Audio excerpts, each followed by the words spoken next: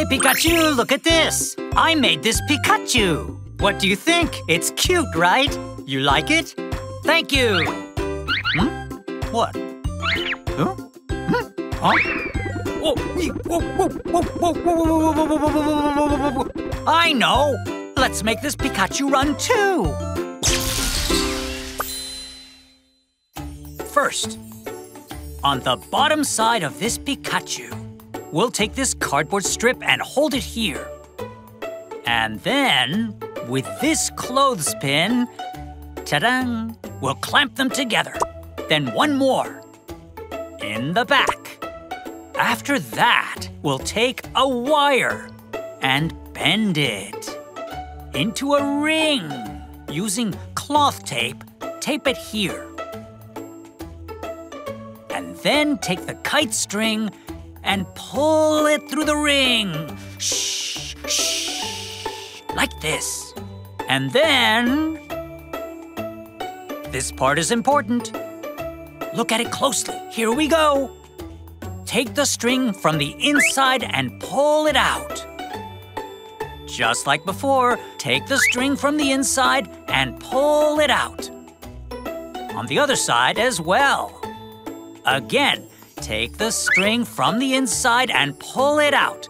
And take the string from the inside and pull it out. With this, all the preparations are done.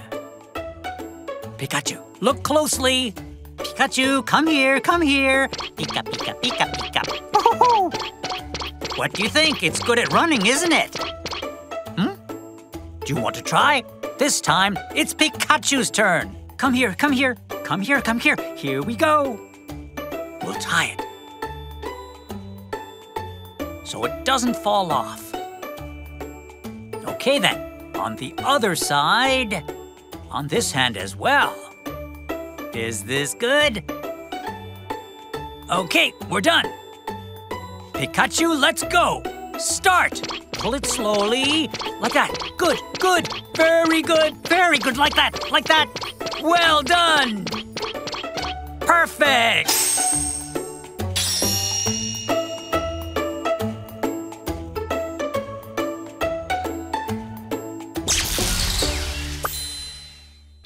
Pikachu, well done. That was great.